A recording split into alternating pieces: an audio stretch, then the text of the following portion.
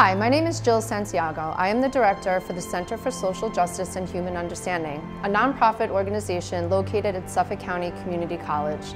Today I'm speaking with my friend and colleague Christina Vargas, Chief Diversity Officer and Title IX Coordinator for the college, who also serves on the Board of Directors for Erase Racism, an organization which promotes racial equality in areas such as housing, education, and community development. Today's conversation focuses on systemic racism on Long Island and how it pervades nearly every area of life here. Christina, thank you for taking the time to sit down and have this conversation with me. So happy to be here. Thank you for having me. So we have known each other for a very long time as friends, as colleagues. We've um, grown up and lived in different communities, but we're in the same community now. And I think that anyone that knows you the way that I do knows that anti-racism is at the core of really everything that you do. And so I'm curious if you would share with us what motivated you to do this work and why it's personal to you. Thank you, Jill. I think you're 100% right. Um, it's part and parcel of who I feel like I am now, but it wasn't always that way. I think when we're growing up, we're not really conditioned to think about race and discrimination in an overt way. Um, but as I started having a family and as I started thinking about where I wanted to raise my family, it became apparent that I wanted to be in a really diverse community. Um, my children are uh, black and Latino, I'm Puerto Rican, and I wanted to make sure that I was kind of surrounding my kids with all different types of individuals who could help them grow and be great people.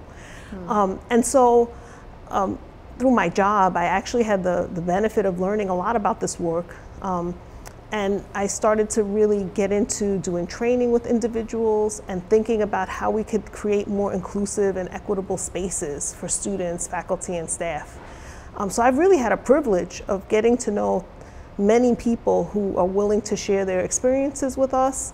And um, it's become a passion of mine to really think about this in an intentional way when it comes to educating people about issues of race. Yeah, and it's just clear that it's not, it's just not work to you. It, it's really about your, your morals and the values and what you want to see in the communities that we, that we live in. So unfortunately, we know that racism is embedded in the very fabric of Long Island history. Um, in fact, you could say it's actually by design. So what I want to do before we get started is just define what is systemic racism. So it's interesting because I think when people think about racism, they automatically think about prejudice, bias, bigotry, and acts of kind of intolerance and not wanting to understand other people and really, you know, very harsh, uh, difficult situations and sometimes some subtle situations, right? Mm. But what we're really not talking about when we talk about systemic racism are individual acts of aggression. We're really talking about policies, practices, and systems that disenfranchise certain groups of people, usually black and brown people, and advantage other groups of people, usually white and Caucasian people. And it's usually not always at the surface, right? It mm. seems like it's just something that happens um, as an individual situation. But then when you look back at patterns and practices and rules and policies and laws, you see that they have a dis disproportionate impact on certain communities. So you're saying really it, this is not about micro level acts. This is really about the much bigger picture and how it plays out in these various systems that are have been in some cases created yeah, I mean, way. Yeah, if you think about it, right, a lot of folks talk about I want to treat people equally. That's true. Mm -hmm. Like mm-hmm. nobody wants to be treating people in an unfair way. I think most people want to be treated fairly, equally, and justly. I think the issue becomes when there are things that are operating underneath the surface that we don't even see. Uh, the visuals that we receive on the news, for example, the information that we see in terms of where people live on Long Island, um, the way that communities engage with each other or don't engage with each other that all ends up becoming something that's a broader practice and pattern that we pay attention to when it comes to issues of race. So it's interesting because in the book, Why Are All the Black Kids Sitting Together in the Cafeteria, the author gets into this idea about if you call a white person racist, how highly offensive that is. But could you speak to that a little bit about how the individual is not necessarily racist, but how that individual still benefits from the system?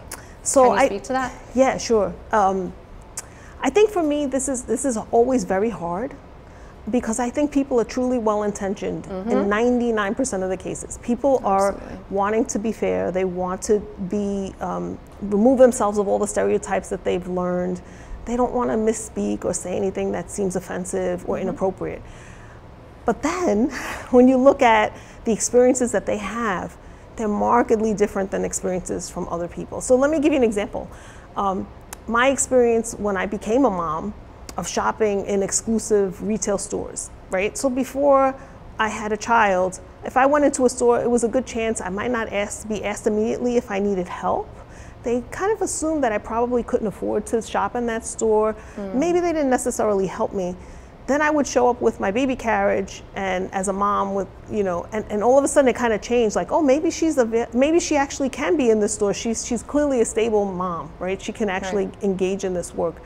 I don't think that store clerk who didn't take care of me made an overt assumption. If I said, hey, did you not come over to me because I'm a person of color? They would look at me like I had three heads. Mm-hmm. They would mm-hmm. say, no, that's not it. you right. know, that's not right. what we're talking about.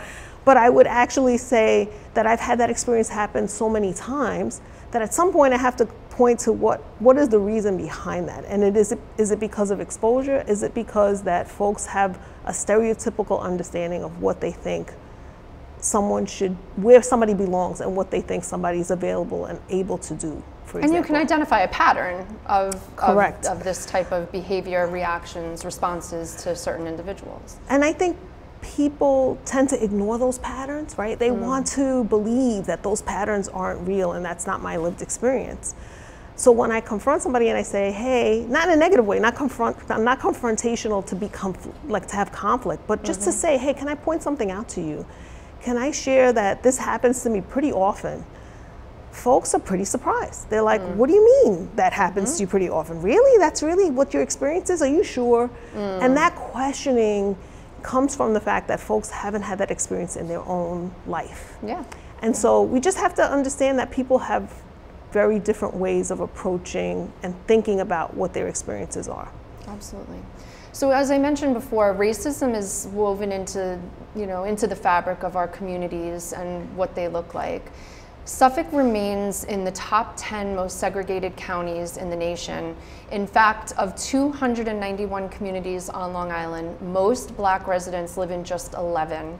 And Smithtown is the most segregated town in the state.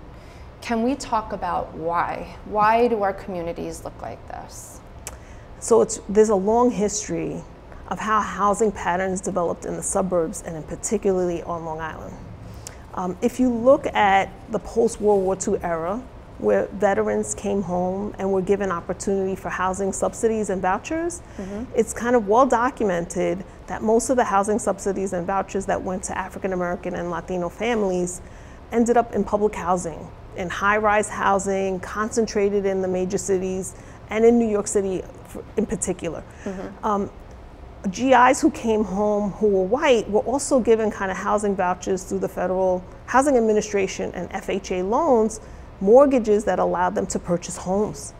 Um, and those homes, you know, created the suburbs on Long Island. Mm-hmm. Uh, the mm-hmm. most famous first suburb being Levittown. Mm-hmm. Um, and Levittown is well known and has this, this actual documentation and proof now that there were racial covenants about who could buy those homes.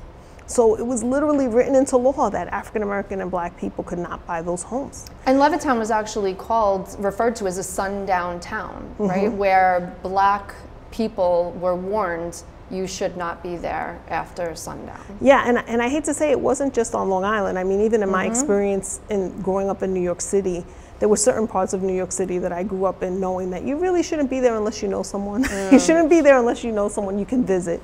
Um, so anyhow, back to Long Island, what mm-hmm. I'll say is that over the generations now of people who um, have purchased homes over the years, you know, you'll notice where is their rental communities versus homeowning communities you can notice um, where real estate agents take individuals to look for homes and what they ask as they're trying to decide to offer people an opportunity to, to check out what they want to purchase as a home.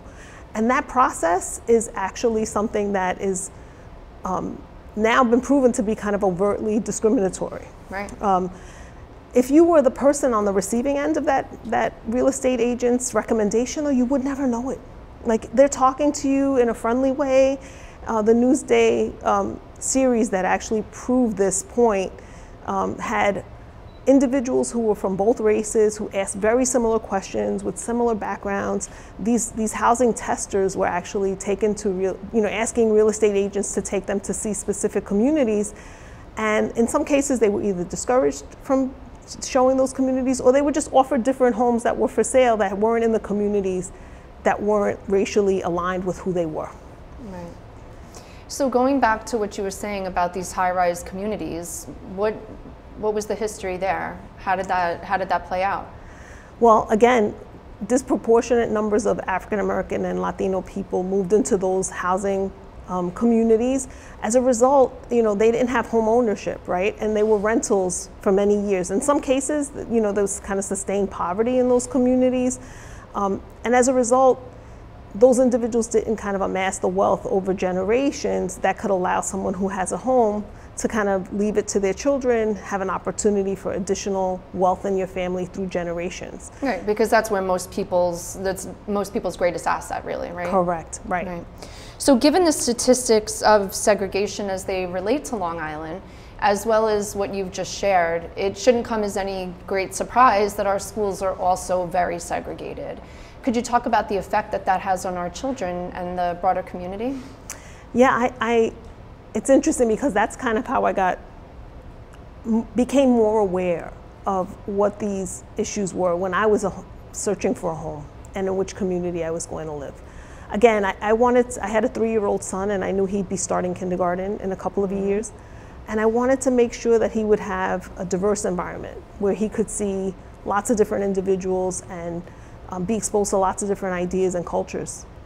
Uh, and it was a difficult task. Mm-hmm. Um, it is. It's incredibly difficult. It's a difficult task. And so, um, what I'll say to you is there are a lot of students um, who right now are in schools on Long Island who don't see anyone different than themselves mm. racially and culturally.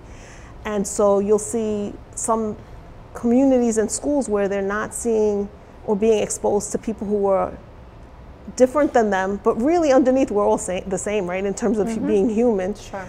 Um, so for the first time that they're exposed to diversity might be here at the college, right? Which they is might, incredible to think about. Yeah, exactly. And if you look at the number of school districts we have, they're actually designed to create um, little boxes of keeping communities um, divided based on these characteristics, both income and race. Um, so if you look side by side, you mentioned Smithtown, you know, there, there are 124 or 127 school districts on Long Island in Nassau and Suffolk County. That's many, many different ways that, that communities are divided where you can't go to a school that's outside of your community, right? And I think even the mindset in a lot of the schools are, very similar. So it's not just about the way that we look, it's also about attitudes and, and it goes beyond mm-hmm. just how a person looks. But it's incredible to think about our students here at Suffolk sitting down in my Western Civ class, and the first time looking around the classroom and seeing people that that look different than them, it's yeah. astounding. Uh, you know, it's interesting because I feel very fortunate that I feel like in our school district where we live, there's a, a lot more diversity amongst the student body. Yes. But the communities are still very, very interestingly organized. Right? Yeah, so the district, in the, in the school district, you can see a little bit of everything. Right. But the communities, the, the, the different populations are centered in different correct different areas. Exactly. So, yeah, it's it's an interesting phenomenon. So because racism has been built into the foundation of Long Island and our communities look the way they do, access to resource varies by community. What one resident of Suffolk County has access to may be very different from a person who lives just a few miles away. Can you provide some insight on the impact that has on individuals? Banks, supermarkets, for example, things right. like that. So if you look um, in different communities on Long Island, you might find that certain banks, certain stores are located in certain communities, right? And so, for example, Um, I was thinking the other day I needed to stop at the bank. Rarely that you have to go to a bank, right? Mm-hmm. It's rare that you even, but I just had to even use the ATM. Uh, and I realized that in my neighborhood, over the years, every single bank has closed. Hmm. And I had to drive to a neighboring community to go to the, the, bank that would potentially not charge me an extra fee to use an ATM. So if I wanted to use an ATM in my community, the closest ATM would be like in a 7-Eleven, which charges like four or five dollars to take mm-hmm. out your mm-hmm. money, right? So all those little things add up. Instead of me being able to go to the branch that's nearby for me to actually access my funds, um, the kinds of services that you see, the types of communities um, that are focused on or that people invest in, um, can really impact that work. So the property tax bases um, from housing and from retail spaces impact the educational spaces because uh, you know the school district is impacted by the amount of property taxes we collect. Right. The value of the homes impacts those spaces, and so I think the goal is to try to think about equity for all individuals who can have access to the services that they're entitled to. And I mean, those are those are some great examples. But just going back even to the ATM fees and not having a bank mm-hmm. near your home, mm-hmm. four or five dollars that 7-Eleven ATM machine is charging you, plus your own bank's fees. For some people, that's a that's a significant amount of money for them. Right? Absolutely. I mean, if you're looking at the needs, especially now where people have had high unemployment because of COVID. Sure. Um, where people are people want to live in a community where they can see and uh, receive everything that they deserve to live in. They don't want to have to be inconvenienced to drive further in order to um, just do a transaction that well, anybody this, this can do. Thing. I mean, these are everyday things that we all have to do, and not having you know uh, equal access is, is, a, is a problem here. As we're talking today, we're finally starting to see life reemerge as we come out of the other side of the COVID 19 pandemic. The pandemic has made an incalculable number of changes to our world, but it also highlighted the gross injustice and systemic racism, the very real impact that it has on healthcare, and frankly, who lives and dies. Can you talk about how we saw the interplay between the pandemic and systemic racism here in Suffolk County and beyond? It's so tragic.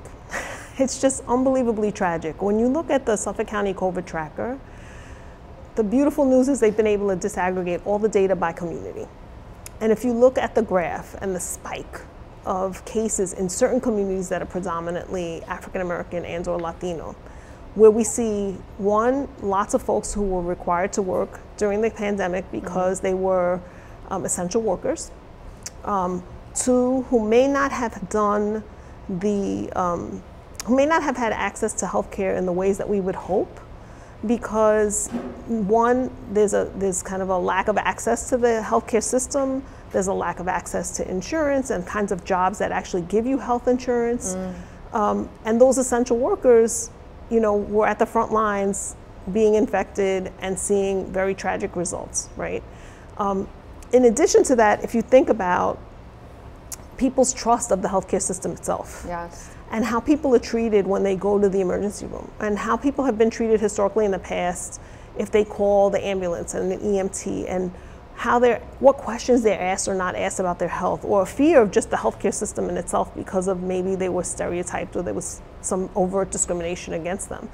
Folks were really reluctant to mm-hmm. even access services, uh, and unfortunately, you know, I can personally say I know a number of people who were impacted and who passed away as a result of having, you know, tragic circumstances because they were not really well in the first place, right? They started off with underlying conditions, pre-existing conditions, a lack of access to healthcare, and now you add a pandemic. And unfortunately, um, those particular conditions can really exacerbate, you know, the, the incidents that can happen related to their health and their, and sadly, you know, their success in fighting the virus. Yeah, we even saw it play out in, in the school system, right? Like how the pandemic impacted students who were going to be now learning remotely, who might not have had internet access, computers, and the support that they needed at home. Yeah, if you look at the needs in some of the most high needs school districts, right? The second that, think about it, back in March of 2020, schools abruptly stopped mm -hmm. coming in person. So how are you going to get access to a laptop? If you have siblings in your um, home, how are you going to share a laptop to take classes at the same time? If you normally have multiple ages in a household, they're each in a different school or in a different classroom, so how are you sharing one computer to do your work?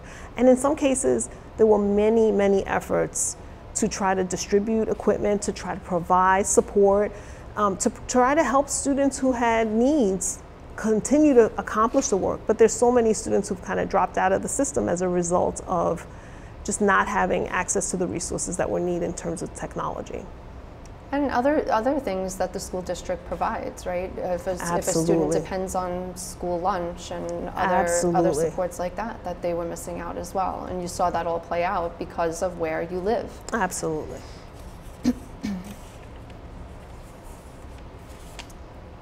You have shared so much knowledge and insight here today, and this conversation is so valuable for students of Suffolk County. Once a student absorbs some of what you have shared today, what can they do? What action can they take? So first, I think it's really important to just acknowledge and notice things that are happening in your community and what's around you. I think you have to have some trusting um, conversations with people that you know and to try to think about listening to their experiences to have a little more empathy for certain certain circumstances right so for mm. me i feel really fortunate my children are grown now i didn't have the same struggles with homeschool that other people have had as your example right. it's important that i listen to my friends and colleagues who have had that experience and really try to relate to what they're doing so in your own examples as students think beyond your own experience. Try to engage with other people to learn from them. That's really like an important first step. Mm. Um, then, if you're really interested in diving deeper, there are lots of local organizations. There are lots of internal resources here at the college that can help you. One, you know, learn more, and two, advocate if you'd like to be engaged with your communities. Vote, right? Vote in your local Vote. school district Vote. elections. Um, make sure that you're involved with going to programs to learn more about these issues. And if you want to advocate around these issues, get involved. Like join a student group that's going to potentially engage with this work. Um, in your own hometown, think about what you can do to try to be engaged with helping understand the things that impact your own community. Yeah, thank you so much. Thank you for sitting down with me today, for your passion, and for all of the ways that you're working to educate and change our communities for the better. I appreciate it. Thank you so much for having me.